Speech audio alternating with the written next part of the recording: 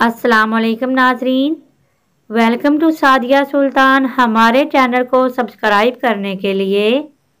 नीचे दिए गए लाल रंग के बटन को क्लिक करें और साथ दिए गए बेल आइकन के बटन को क्लिक करें ताकि मेरी हर नई आने वाली वीडियो की अपडेट आपको मिलती रहे।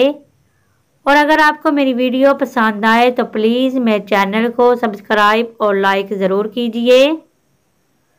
नारंगी और नींबू के छिलकों का फेस मास्क अज्जा, नारंगी और नींबू के छिलकों का खुश्क पाउडर दो खाने का चम्मच, गंदम का आटा दो खाने के चम्मच, शहद आधा चम्मच, दूध हसबे ज़रूरत।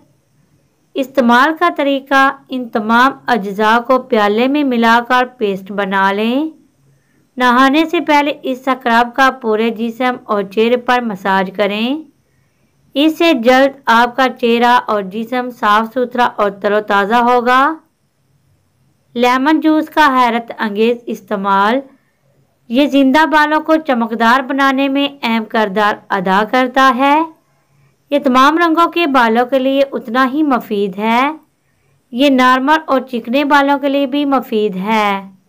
अज्जा दो लीमू, दो कप पानी, तैयारी और तरीका इस्तेमाल।